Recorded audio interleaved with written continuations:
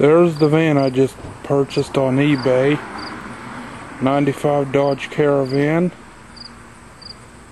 Only 117,000 miles on that van.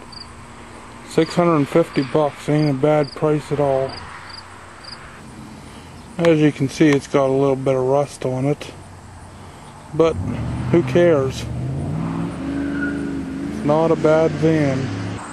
Now this van is my piece of shit that's not safe to go on the road anymore.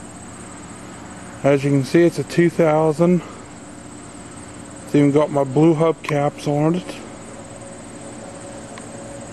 But it's not roadworthy anymore, so I don't know what I'm going to do with it yet.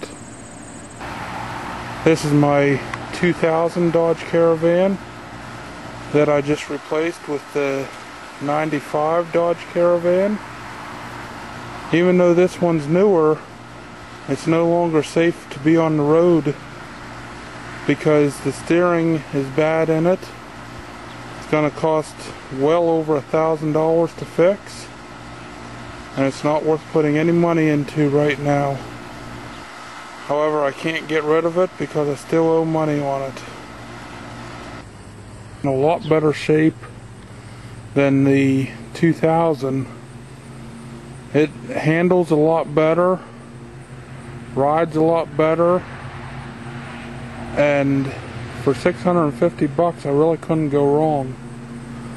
Nothing wrong with the van, except whenever I purchased it, the dipstick for the oil was broken half, so I just took the dipstick out of the 2000 and put in here and it works perfectly.